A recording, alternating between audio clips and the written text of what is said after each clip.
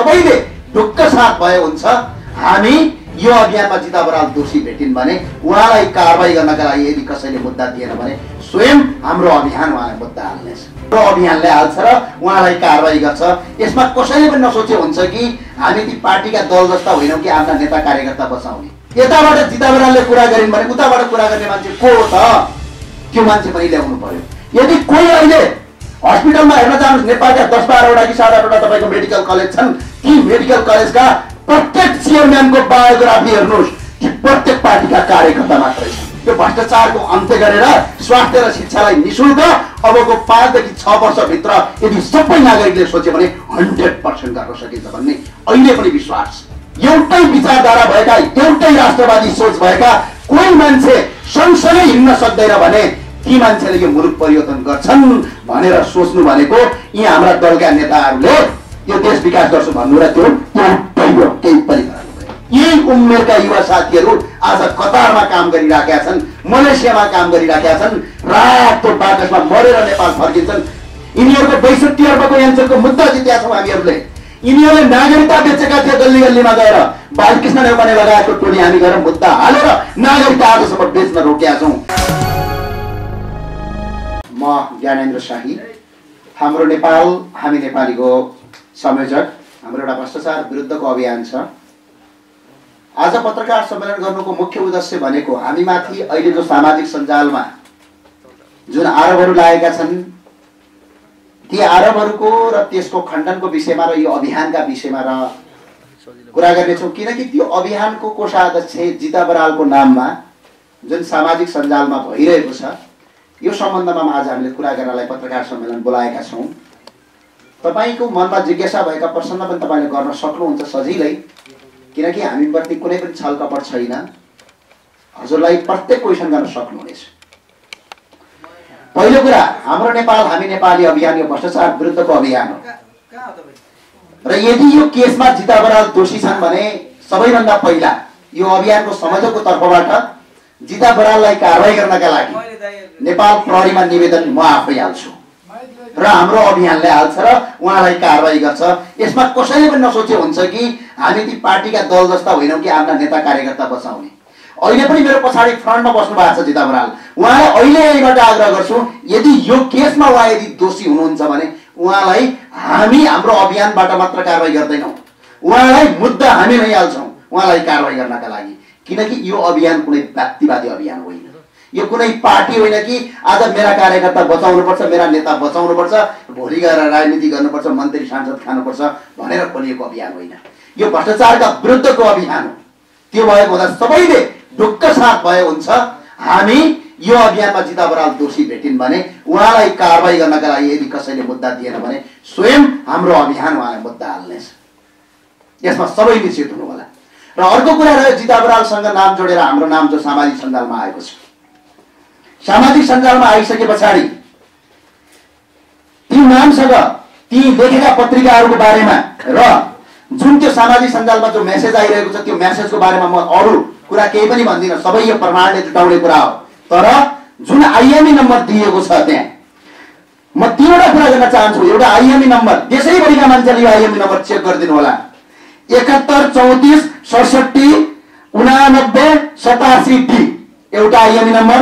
अर्को IME number एकहत्तर तेइस सतासी सडसठी छप्पन्न डी। यी दुईवटा आइएमई नम्बर देश विदेशमा रहेका जति पनि अभियन्ता जति पनि यो राष्ट्रलाई माया गर्नुहुने सच्चा नेपाली छौँ सबैले चेक गर्नु यो आइएमई नम्बर अहिलेसम्म फेक भेटिएको छ। यताबाट जिता बरालले कुरा गरिन् भने उताबाट कुरा गर्ने मान्छे को हो त? त्यो मान्छे पनि ल्याउनु पर्यो। र अर्को कुरा यो आइएमई र यो आइडीका सम्बन्धमा हामीले यो फेक आइडीबाट भएको सम्बन्धमा हामीले मुद्दा पनि दर्ता गराउनु भएको छ जिता बरालले दर्ता नम्बर उन्नाइस उनातिस महानगरीय प्रहरी परिषद टेकुमा मुद्दा दर्ता भइसकेको छ। र अर्को कुरा यो सन्दर्भमा म जोड्न जाँदाखेरि कर्णाली आवाज खबरबाट यो बाहिर लिक भएको छ। कर्णाली आवाज खबर पसल रोकाया भन्ने प्रकाश रोकाया। मेरो जुम्लाको गाउँभन्दा पल्लो गाउँको मान्छे हुन्। तिनलाई म राम्रोसँग चिन्दछु। तिनकै नाममा विभिन्न किसिमका भ्रष्टाचार गरेको ठगेको। अहिले मात्रै त्यो बहिनीको हिजो तपाईँले टेप रेकर्ड सुन्नुभयो। धेरै विद्यार्थी छन् ती मात्रै छैनन्। करिब करिब पचास साठीजना भन्दा बढी विद्यार्थी मेरो सम्पर्कमा पनि आएका छन्। हरेक ठाउँमा उनले घुस माग्दै गइरहेको अवस्थामा यहाँभन्दा अगाडि जिता बरालले मसँग त्यो सहकारी गर्नुभएको थियो यो म्यासेज लिक हुनभन्दा पहिला। यसरी नानीहरूलाई ठगेको छ ज्ञानेन्द्र। हामीले के गर्न सक्छौँ भने पछाडि हामीले त्यसका लागि पहिला पत्रकारलाई पनि जानकारी गराउँ मुद्दा पनि हालौँ र त्यो मान्छेलाई एकछिन फोन सम्पर्क गर्नुहोस् तपाईँ आफै। भनेपछि उहाँले फोन सम्पर्क गरिसके पछाडि यो कर्णाली आवाज भन्ने खबर भने यो दर्ता नभएको भेटिएको छ। मिडिया काउन्सिलमा गए पछाडि यो काउन्सिलमा। मेरो आग्रह के छ भने जिता बराललाई बचाउनुपर्छ भन्ने कुरामा म कहीँ पनि छैन। तर यदि कसैले कसैको आइडी फेक बनाएर चरित्र हत्या गर्छ भने त्यसलाई हतै स्तम्भको कारवाही हुनुपर्छ। यो भनेर धेरै मान्छेलाई लाग्ला। अहिले तपाईँ जति मान्छे हुन्छ तपाईँको नामको फेक आइडी बनाउन त्यति गाह्रो छैन। प्रोफाइलको कभर पेज बनाएर स्वाट गरिदियो भने अहिलेको अहिले तपाईँको आइडी यहीँनिर फेक बनाएर कुराकानी गर्न सकिन्छ। र यो भरमको पछाडि जाँदाखेरि मलाई के लाग्यो भने यो भेन्सन थापाले घाँटी रेटिँदै मारिएको देश हो यो। हामीले बिर्स्या छैनौँ। यो राष्ट्र त्यो राष्ट्र हो जो विश्वकै सबैभन्दा शान्तिप्रिय विश्वको सबैभन्दा शान्तिप्रिय नेपाली जनताको मनको ढुकढुकी राजा प्रेन्द्रको परिवारलाई वंशनाश गरेको देश हो। जनताबाट सबैभन्दा बढी मन पराइएका आजसम्मको इतिहासमा सबैभन्दा बढी जनताको नेता भनेर चिनिने जननेता मदन भण्डारीलाई दिनहाडै हत्या गरेको देश हो यो। भने हामीमाथि यहाँ आरोप लाग्नु मलाई सामान्य लाग्छ। किनकि हामी नागरिकहरू कस्ता छौँ भने कुनै सत्य तथ्य नबुझी हामी हावा र भुइँयाको भरमा बोक्नेछौँ। हामीले आन्दोलन गऱ्यौँ भ्रष्टाचारका लागि। यो कुरा पहिल्यै मलाई थाहा छ र अर्को कुरा म तपाईँलाई आज खुलासा के गर्न चाहन्छु भने भ्रष्टाचारका विरुद्धमा लड्नलाई कुनै यो पसलमा बसेर चाउचाउ र तपाईँको समस्या खाए जस्तो छैन। ज्यानलाई बलिदान दिनुपर्छ। त्यति मात्र पुग्दैन। हरेक दिन क्यारेक्टरलाई लगेर उछाल्छन्। प्रत्येक दिन क्यारेक्टर उछालिन्छन् यहाँ। सजिलो छ। अरबौँका भ्रष्टाचारका काण्ड बाहिर निकालेका छौँ हामीले। यिनीहरूको बैसठी अर्बको यान्चरको मुद्दा जितेका छौँ हामीहरूले यिनीहरूले नागरिकता बेचेका थिए गल्ली गल्लीमा गएर बालकृष्ण नेउपाने लगायतको टोली हामी गएर मुद्दा हालेर नागरिकता आजसम्म बेच्न रोकेका छौँ यी नागरिकता बेच्दाखेरि आउने पैसा तिन चार सय अरब पैसा यिनीहरूले तिन चार सय करोड पैसा हामीले रोकिदिएका छौँ अनि यिनीलाई कम टेन्सन भएको छ ठाउँ ठाउँमा छोडे राजाको पर्दाफास गरेका छौँ हामीले एक एक हिसाब किताब निकालेका छौँ यहाँको मन्त्रालयले कति पैसा लग्यो कहाँको रेड फाइलमा के छ कुन बजेटको कहाँ बनेन? अस्ति मात्रै दार्चुलाको एउटा सडक बनेन। पैसा आएको छैन भनेर दार्चुलाका जनप्रतिनिधिले भनिरहँदा तिनीहरूको रेड फाइल निकाल्दाखेरि दुई अर्ब भन्दा बढी पैसा गएको डाटा हामीले निकाल्यौँ। नागरिकका अगाडि उनीहरू नङ्गे झार भएका छन्। अब यहाँ के गरिन्छ? केही गरिँदैन। तपाईँको क्यारेक्टर उचालिदिनुहोस् जनता तल बसेर ताली पड्काए किनकि देश यस्तो हो। राजा वीरेन्द्रलाई मार्दाखेरि पनि आजसम्म कसैले चुक्क बोलेको छैन।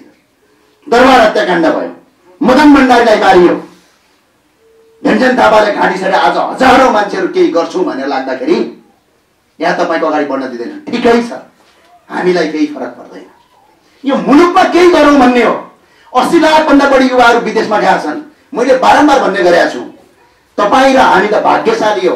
काठमाडौँको रिपोर्टर्स क्लबभित्र बसेर तपाईँ क्यामेरा गर्नुभएको छ म बोलिराखेका छु तर हामी जस्ता यही उमेरका युवा साथीहरू आज कतारमा काम गरिराखेका छन् मलेसियामा काम गरिराखेका छन् रातो बाकसमा मरेर नेपाल फर्किन्छन् कसैको घरमा गएर ऋण लगेर अर्काको देशमा काम गर्न बाध्य छन् हो यही भ्रष्टाचारीको एक एक हिसाब किताब निकालेर देशमा रोजगारी सिर्जना गरौँ भनेर लाग्दाखेरि म माथि तिन पटक आक्रमण भयो। बडा रमाइलो छ सरकार खतरा छ। चौसठी त्रिसठी सालको तपाईँलाई एउटा मैले अवसरण गराएँ स्मरण गराएँ नागरिक आन्दोलन अत्याधिक ठुलो लेभलमा थियो नागरिक समाज. त्यसको नेतृत्व कृष्ण पहाडीले गरिराख्नु भएको थियो मेरो हिसाबमा। त्यतिखेर यी नेताहरूले कुनै पनि गलत काम गर्नुपर्छ भने पछाडि नागरिक समाजका अगुवाको पर्मिसन बिना यी नागरिक समाजको आवाज बिना कुनै पनि मानव अधिकारको उल्लङ्घन गर्न सक्दैनथे नेताहरूले। अनि यी नेताहरूले के गरे अर्को नागरिक समाज जन्माइदिए नागरिक समाज च्याउ जसरी उर्नु उर्ने उर्नेपछि आज त्यो नागरिक समाज कसैको पनि दायरामा छैन कसैले पनि विश्वास गर्दैन। हो! भ्रष्टाचारका विरुद्धमा साँच्चै लड्ने एउटा अभियान खडा गरिरहँदा आज यो सरकारले यस्ता अभियान अब च्याउ जसरी उमार्छ। अनि जनतालाई कन्फ्युज गराउँछ। अनि जनता कन्फ्युज हुन्छन्। अनि यिनीहरूले जसरी चौसठी सालदेखि आजसम्म लुटिराखेका छन् फेरि त्यसरी लुट्छन्। यो बडा रमाइलोको देश। बडा रमाइलो नागरिक छौँ हामी। कुनै हामी रमाइलो गर्नलाई जन्म्या होइनौँ। हामी रमाइलो गर्नका लागि यो अभियान छेड्या होइनौँ। यो मन मुटुबाट छेरिएको अभियान हो।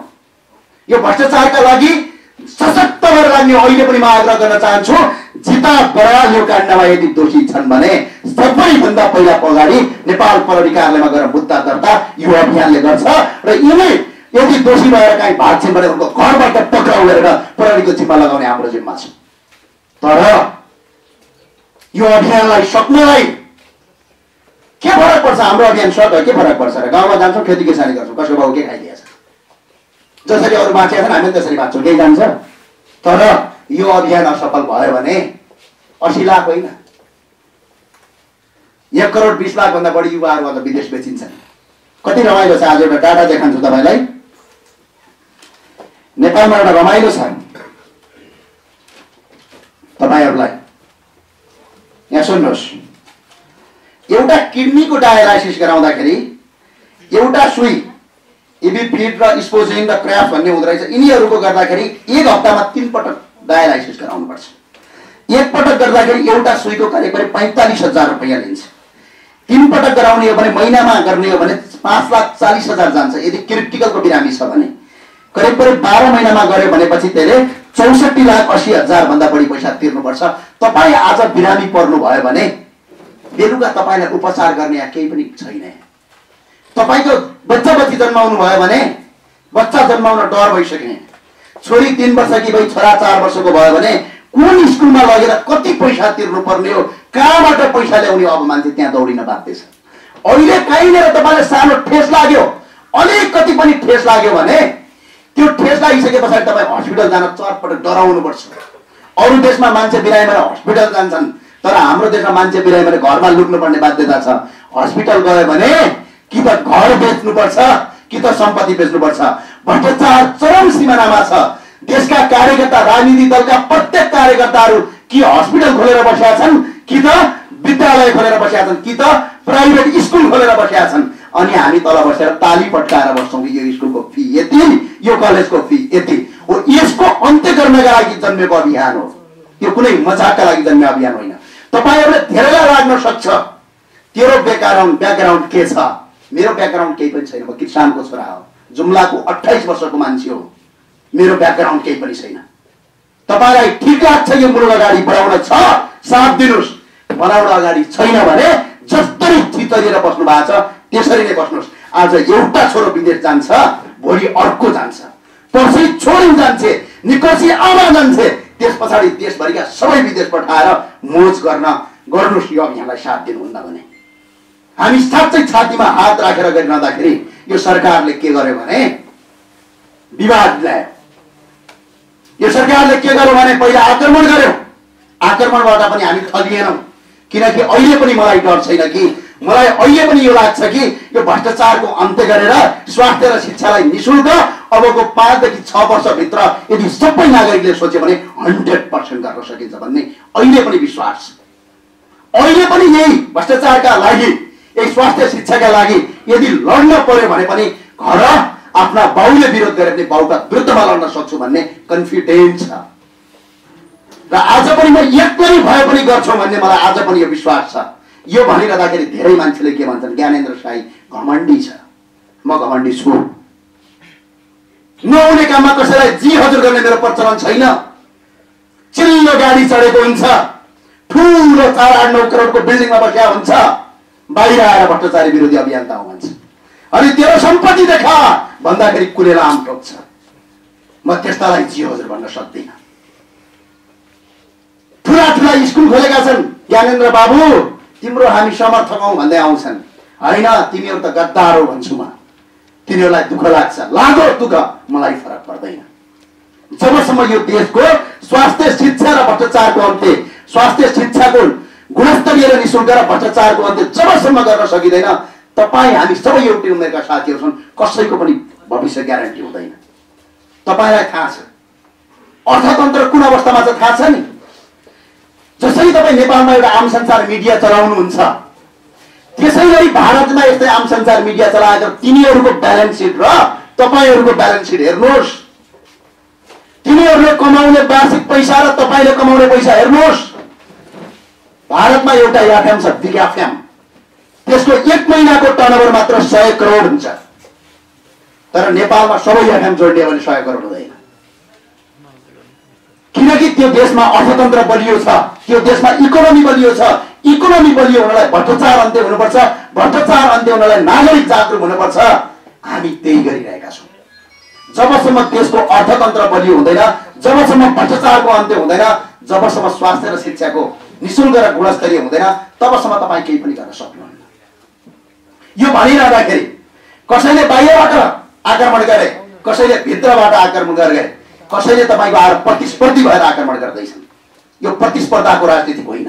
हाम्रो विचार एउटै छ सिद्धान्त एउटै छ नीति एउटै छ भने मिल्न सक्नुपर्छ एक भएर जान सक्नुपर्छ।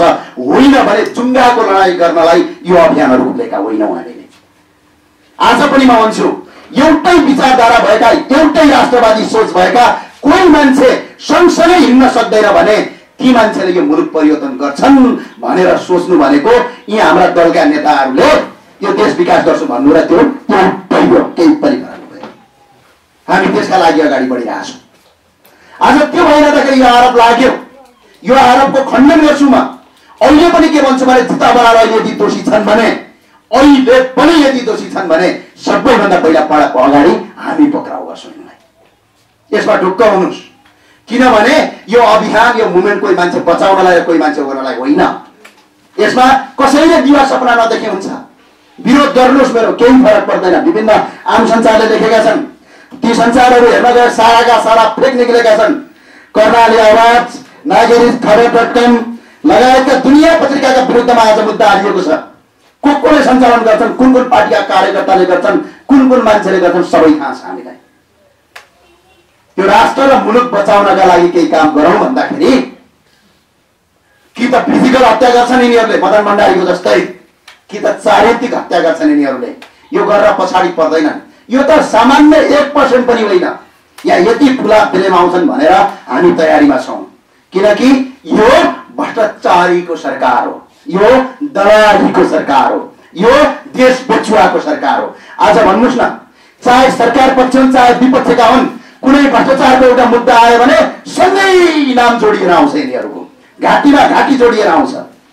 कुनै एउटा स्कुलहरू महँगो फिस चलाउँछ भने अहिले सरकार पक्षका मात्र छैनन् विपक्षका नेताहरू पनि त्यो कलेजको लगानी गर्दा छन्। यदि कोही अहिले हस्पिटलमा हेर्न जानुहोस् नेपालका दस बाह्रवटा कि सात आठवटा तपाईँको मेडिकल कलेज छन् ती मेडिकल कलेजका प्रत्येक चेयरम्यानको बायोग्राफी हेर्नुहोस् ती प्रत्येक पार्टीका कार्यकर्ता मात्रै छन्। चाहे विपक्षका हुन् चाहे सरकारवादी हुन्। किनकि जनताबाट पैसा हस्पिटलको नाममा उठायो चुनाव आउने बेला पार्टीमा त्यही हस्पिटलबाट आएको करोडौँ रुपियाँ दिएर चुनाव खर्च गराएर जिताएर आयो अनि मुलुक चलायो। यसका विरुद्धमा छौँ हामी आज पनि। यो केही पनि होइन। जुन दिन स्वास्थ्य र शिक्षामा गुणस्तरीय र निशुल्क गर्नका लागि हामीले एउटा नमुना परीक्षण गर्छौँ त्यो दिन यी शैक्षिक माफियाहरू यी मेडिकल माफियाहरू यी भ्रष्टाचारीहरू एकजुट भएर हामीलाई आक्रमण गर्छन्। त्यही भएर म आग्रह गर्न चाहन्छु। हिजो आएको यो न्युजको सम्बन्धमा यदि यो सत्य छ भने सबैभन्दा पहिला हामी कारवाही गर्छौँ यसमा ढुक्क हुनुहोस्। कसैले कसैलाई विलम्ब लगाउनु पर्ने कुनै कारण छैन। तर त्यो आइएमई नम्बर तपाईँ पनि चेक गर्नुहोस्। अहिले पनि चेक गर्नुहोस्। त्यो आइएमई नम्बरलाई ठाउँ ठाउँमा चेक गर्नुहोस्। भरमका पछाडि नपर्नुहोस्। सत्यको बाटो हिँड्नुहोस्। यथार्थ र सत्यको बाटोमा जहिले पनि विजय निश्चित छ। यो भ्रष्टाचारका विरुद्धमा आगो जसरी उक्रिने अभियान हो। कुनै तेरो ब्याकग्राउन्ड हिजो के थियो त कुन पृष्ठभूमिबाट आइस भन्ने होइन। तैँले आज के गर्छस् र तैँले भोलि के गर्न सक्छस् भन्ने मात्र कुरा ठुलो हो। त्यही भएर यो अभियान अगाडि बढ्छ मुलुकमा भ्रष्टाचारीको शर्त उडाउँछ। कोही भ्रष्टाचारीहरूलाई टाउको दुख्छ भने टाउको फोडे हुन्छ। त्यो एउटा नमुना मात्रै हो। धेरै ठग्या छन्। यिनलाई कारवाही गर्नका लागि पहिला यो मुद्दा हाल्नु पर्थ्यो। मुद्दा दर्ता भइसकेका छ मुद्दा दर्ता भइसकेपछि तत्काल प्रहरीले आफ्नो तर्फबाट कारवाही गर्नेछ। यदि कारवाही गरेन भने हाम्रा अभियन्ताहरूले त्यसलाई पक्राउ गरेर प्रहरीको जिम्मा लगाउनेछन् यसमा दुई मात्रै छैन। जस्तै उहाँ बहिनी त एउटा प्रतिनिधि पात्र मात्रै हो तपाईँले पनि भनिराख्नु भएको छ। एउटा तपाईँकै गाउँको छिमेकीले गर्दा यो ज्ञानेन्द्र साईको पनि अब नाम जोडिन्छ। आफ्नै गाउँको मान्छेले अब ज्ञानेन्द्र साईको अभियानले चाहिँ यसलाई कसरी लिइरहेको। आफ्नै गाउँको भन्दाखेरि मेरो पहिलो आक्रमण चाहिँ तपाईँको महेन्द्र साईको नेतृत्वमा सुर्खेतमा मेरो खुट्टा भाँसिया ती त मेरा गाउँले नै हो। के यो अभियानका समर्थक हुन् त? तपाईँको आफ्नो गाउँ भन्ने जस्तो मेरो गाउँ सिन्जा गाउँपालिकाको वडा नम्बर तिनमा पर्छ भने उनको तपाईँको कनका सुन्दरी गाउँपालिका वडा नम्बर कति पर्छ रोकावडा भन्ने ठाउँमा पर्छ हामी ओल्लो पल्लो गाउँपालिका चाहिँ तलमाथिको गाउँपालिका हो र अर्को कुरा के हुन्छ भने तपाईँका बुवा तपाईँको बुवा बुवा तपाईँ जस्तै पनि नहुन पनि सक्नुहुन्छ तपाईँको विचार हजुरको बुवाले नै मन पराउनु पर्छ भन्ने केही छैन यसको मतलब के छ भने परिवार धेरै यस्ता इतिहास छन् जो परिवारभित्रका मान्छे पनि अलग अलग राजनीतिक धाराबाट उदाएर हुन्छ। यसको मतलब कुन गाउँको मान्छे हो कुन ठाउँको मान्छे हो कुन सुत्यो भन्ने कुरा ठुलो रहँदैन तर तपाईँले चाहिँ भएको छ यसलाई यो घटनालाई। अनि यो के भने मलाई यो घटनालाई कसरी लगेको छु भने कहाँसम्म उदण्ड मचाएर कहाँसम्म नेपालका नागरिकहरू एउटा कुरा बुझ्दै नबुझी पछि दौडिँदा रहेछन् भन्ने कुरा चाहिँ प्रष्ट देखाएको त्यहाँ फेक आइडीमा जोडिएको छ। यसको मतलब यो होइन कि यसको छानबिन गर्ने अधिकार मेरो होइन। अहिले पनि म आग्रह गर्छु। अहिले पनि योगेश भट्टराईको श्रीमतीको संलग्नता छ छ कि छैन त्यसमा? अब म यो यहाँ सुन्नु न यदि जिता बरालको त्यसमा संलग्नता छ भने योगेश भट्टराईकी श्रीमतीको पनि हुनुपर्छ। बुझ्नुभयो? यहाँ किनभने जिता बरालको आइडीबाट फेक आइडीबाट गरिएको भन्ने छ। किनकि त्यो आइएमई नम्बर नै अर्को कुरा यसको बारेमा बताउन सक्ने म कुनै तपाईँको अफिसर होइन। यो छानबिनको प्रक्रियामा चाहिँ मेरो भनाइ यति मात्रै हो कि यदि त्यो जिता बराल हामी पछाडि नै बस्नु भएको छ उहाँ यदि दोषी हुनुहुन्छ भने हाम्रो अभियानको तर्फबाट उहाँलाई पहिलो मुद्दा हामी हालेर कारवाही गर्छौँ र अर्को कुरा के र भने कर्णाली आवाजबाट यो लिक भयो हुनाले ऊ व्यक्तिको जो पसल रोकाएले ठगी गरेका पनि एउटा पछाडि छ अडियो रेकर्ड पनि हिजो सुन्नुभयो। उस लगायत धेरै विद्यार्थी ठगी खण्डमा छन् भने ती व्यक्तिलाई कारवाही गर्नुपर्छ भन्ने मेरो मात्रै धारणा यसको मतलब यो होइन कि त्यो काण्डमा हाम्रा अभियन्ताहरू या तपाईँको यसबाटको श्रीमतीहरू दोषी छन् भने उनीहरूलाई छोड्नुपर्छ भन्ने होइन। सबैभन्दा पहिला कारवाही हामी नै गर्छौँ। तपाईँको योगेश भट्टराईसँग केही समय अगाडि विवाद भएको थियो होइन। त्यही केससँग जोडिएर अहिले हेरिरहेछ यसमा होइन? यसमा चाहिँ तपाईँलाई के भन्नुहुन्छ? यसमा मलाई केही पनि लाग्दैन। यो केस र त्यो केस अलग्गै पृथक अलगै भूमिकाको केस हो। यसमा केही पनि होइन। पैँचुतिर भन्छ नि त्यो। होइन त्यस्तो केही पनि होइन। त्यो भन्नेले जे पनि भन्छन्। भन्नाले त हिजो ज्ञानेन्द्र साई नै भ्रष्टाचारीको नाइके हो भनेर छन् नि देखाइदिउने अ, ती कहाँ छन् खोज्दैछु ल्याएर सोध्नुपर्ने छ। मेरो सम्पत्ति मात्र होइन कि मेरो घरको एक एक चेक गरेर दस रुपियाँ निकाल। म यो देशबाट पलायन भएर अर्का चलेका छन् तपाईँले चाहिँ पटक पटक भन्नु कि नेपाली जनताहरू नबुझिकन पछि रहेछ भन्नु होइन? अब त्यो धेरै घटनाहरूले देखाएको पनि छ त्यो पुष्टि पनि गरेको छ। अनि तपाईँको पछि लाग्नेहरूको सम्बन्धमा चाहिँ के भन्नुहुन्छ? होइन मेरो पछि लाग्ने मान्छेहरू पनि सबै ठिक छन् भन्ने छैन। अहिले पनि हाम्रो अभियानमा सबै मान्छे ठिक छन् भन्ने छैन। तपाईँ यो भरमा नपर्नु किनकि मान्छे फिल्टर गर्न बडा गाह्रो छ। धेरै मान्छे फिल्टर गरिन्छ। यसमा ढुक्क तपाईँ के हुनुहोस् भने मेरो पछाडि लाग्ने मान्छे हन्ड्रेड पर्सेन्ट सही छन्। कोही कहिले पनि नसोच्नु किनकि भन्नुको तात्पर्य जस्तै ज्ञानेन्द्र साईले अब त्यो अभियानबाट केही काम गर्छ भने त्यो प्रतिशत सही हुन्छ र तपाईँका अभियन्ताहरूले केही कुरा गर्यो भने चाहिँ त्यो चाहिँ नपत्तै हाल्नुहोस् भन्न होइन त्यस्तो मैले भने। यस्तो हुन्छ यस्तो हुन्छ क्या। तपाईँ हामी अहिलेसम्म बिग्रेकै कस्तो भने नेकपा माओवादी एउटा पार्टी छ नेकपा। नेकपामा सबै मान्छे त्यसको सिद्धान्तमा हिँड्ने सबै मान्छे त हुँदैन नि त्यसमा त केही खराब मान्छे पनि हुन्छन् केही राम्रा मान्छे पनि त हुन्छन्। यसको मतलब चाहिँ हाम्रो अभियानमा जोडिएका सबै अभियन्ताहरू दुधका धुलाउन् भन्ने त मैले भन्न पा- पाउँदैन नि। भोलिको पृष्ठभूमिले देखाउने हो। अझै हामी छानबिनमा छौँ। जस्तै तपाईँ एउटा अभियन्ताको अगुवा भएको हैसियतले तपाईँले फिल्टर गर्ने क्षमता त तपाईँमा हुनु पऱ्यो नि त तपाईँमा तपाईँको सङ्गठनले यस्तो छ। त्यो अभियानको लागि यी हाम्रा अभियन्ता यतिजना मात्र हुन् भन्ने फिक्स छैन नि त। किनभने आउने क्रम भइरहेछ जाने क्रम भइरहेछ। यो जोडिँदै गर्छन् आउँदै गर्छन् जाँदै गर्छन्। यसको मतलब के भने आज दुई चार दिन मेरो पछाडि उभिएको मान्छे त्यो सही हो भन्ने होइन क्या किनभने हाम्रो फिल्टर प्रोसेस हुन्छ भइरहेको छ। यसको मतलब यो भन्न खोजे होइन कि तपाईँलाई यो अभियानभित्र भएका मान्छे सबै दुधका धुला हुन्छन् अथवा यो अभियानको आस्था राख्ने मान्छे सबै सही हुन्छन् भन्ने पनि होइन। किनकि यो समयले देखाउँदै जान्छ। म तपाईँलाई ज्वलन्त एउटा उदाहरण के दिन्छु भने भारतमा आम आदमी पार्टीको एउटा स्थापना भयो त्यसको संयोजक अरविन्द केजरीवाल।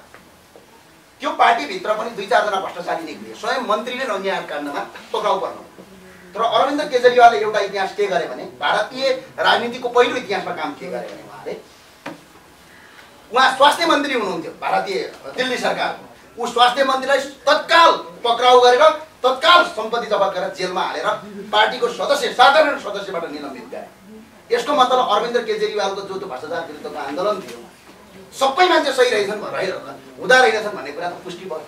यहाँ कस्तो छ भने तपाईँको यो हाम्रो यो अहिले एसियाको राजनीति नै ब्याकग्राउन्ड कस्तो हुन्छ भने कुनै एउटा तपाईँको एउटा अभियान चलोस् या कुनै पार्टी चलोस् त्यो अभियान या पार्टीमा तपाईँको नराम्रा मान्छेहरूको हाबी देखिन्छ। जस्तै उदाहरणका लागि हिजोका जति पनि पञ्चायतकालमा पञ्च भएर बसेका मान्छे सबै काङ्ग्रेस भए।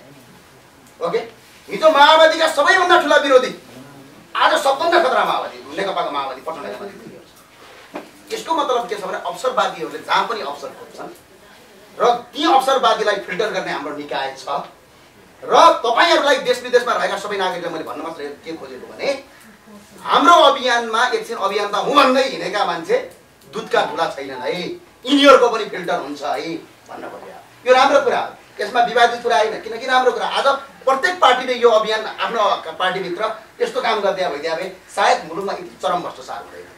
भनेपछि तपाईँको नजरमा जिता बरालजी चाहिँ सत्य हुनुहुन्छ राम्रो हुनुहुन्छ? होइन मलाई छैन। किनभने अहिले पनि छैन। किनकि जिता बराललाई यो सत्य छन् कि असत्य छन् भन्ने कुरा भोलिको यहाँको कानुनी प्रोसेसले गर्ने।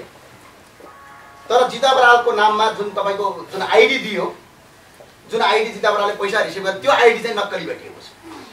त्यो आइडी कसले बनाएर के पत्ता लाग्यो? त्यो आइडी मैले आइएममा पठाइयो इ- त्यो देखाउँछ हेर्नुहोस् त। होइन। उहाँले पत्ता लाग्यो होला उहाँले भन्नुहुन्छ त्यो बारेमा। मलाई भन्ने भएन। यो जस्तो त्यो आइएमईको लागि हामीले आइएमई कोर्टमा आइएमईलाई पठायौँ। यो पठाउँदाखेरि के लेख्छ भने उसले नट फाउन्ड लेख्छ। यहाँ के लेख्छ? ट्रान्जेक्सन इज नट फाउन्ड त्यो आइएमई नम्बर नै रहन्छ। जस्तै यो तपाईँको यो अभियानको सुरुवाती क्रममै यस्तो विवादित विषयहरू जोडिँदाखेरि एउटा तपाईँ त्यो अभियन्ताको प्रमुख भए भएको हैसियतले कसरी लिइराख्नु भएको सुरुवातीमै भर्खर मात्रै यो यो यो यो कुरालाई के गर्छौँ भने यो भ्रष्टाचारका विरुद्धमा छेडिएको अभियान हो। यहाँ जे पनि हुन सक्छ। तर हामी आफ्नो एजेन्डा भन्दा चाहिँ बाँच्नु हुँदैन। भोलि यो अभियानमा बाहिर के मै निक्ल्यो भ्रष्टाचारी निक्ल्यो भने मभन्दा अर्थात् हाम्रो पनि त एउटा विभाग छ। त्यो विभागले मलाई कारवाही गर्नुपर्छ। किनकि कुनै पनि दोषीलाई उन्मुक्ति दिनु हुँदैन।